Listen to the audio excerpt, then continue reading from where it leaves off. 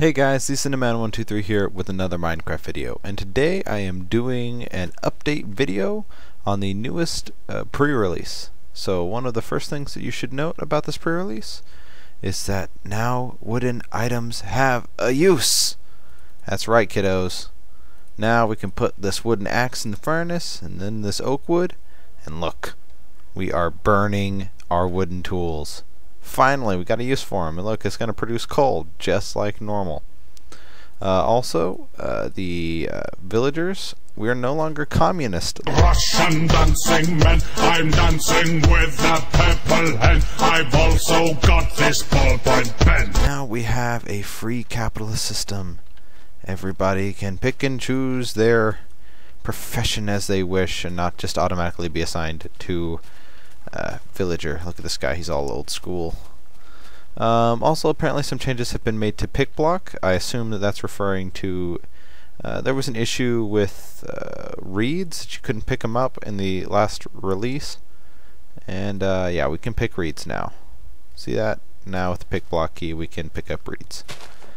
Um, there are probably a few other things that I'm missing in this release. Um, there have been several changes to the um, uh, to the system as a whole. It Looks like a core change has been made, and I am certainly feeling the benefits. Um, as you guys can see, I am making a video in a pre-release, which means that uh, you see that I'm in a pre-release and everything, and I'm not getting terrible frame rates, which means that uh, the system has been optimized somewhat.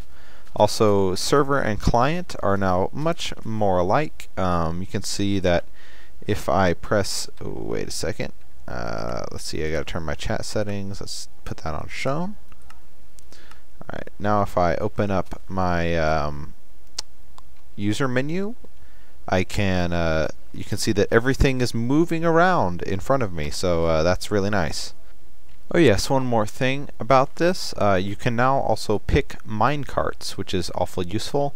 I know that uh, that was kind of a, a, bit of an issue for me in the past, but uh, now we've got none of those issues anyway. Also new in this release, um, the new mechanics with this uh, world setup that I mentioned earlier. Uh, basically what it does is it basic the, Minecraft is now running a one person server instead of running uh, a separate client thing. So uh, while that may improve frame rates for some people, uh, it may lower them for others.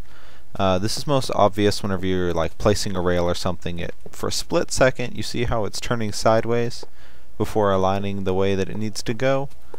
Um, that's basically uh, it's just like a server takes a second to update also, something you should know about this um, uh, pre-release, if you've had a game in creative mode before, um, for some reason, it gets changed to survival uh, with this release.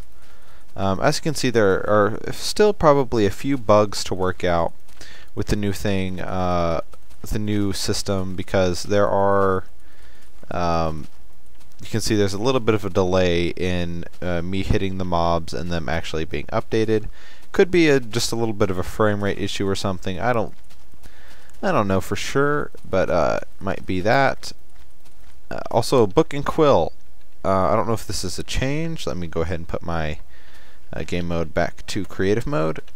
But uh, Book and Quill, this was added in the latest pre-release. Um, basically you don't have to sign it anymore. Uh, I don't know if this was a case anymore, but the book is written. And you don't have to sign it anymore. Uh, you can just press done. And whenever you open it back up, it's got everything in it still. I can drop it and pick it back up. And uh, everything's still written in it. So the data is still stored in these. It's just, um, you know, whenever I sign it, the book, that's whenever it gets its name, the book, and I can't change it anymore. So yeah, uh, that's a nice feature. You don't have to write all your books in one go, and there's where all the communists are. Um, yeah, I don't think there's anything else in this release. Uh, there have been a few changes to Silk Touch, as I probably have mentioned already. Um, I don't think that it changes what the uh, mob spawners pick up. I'm pretty sure they still break. At least they did whenever I tested it out. And um, I think that maybe I can't think of anything else that could be picked up that couldn't beforehand. Anyway, I hope you guys enjoyed this quick little update video. I had just gotten kind of out of the habit of doing these and I felt like doing it again um, you can see here I've got another tutorial set up. You'll probably can expect that tomorrow or roundabouts.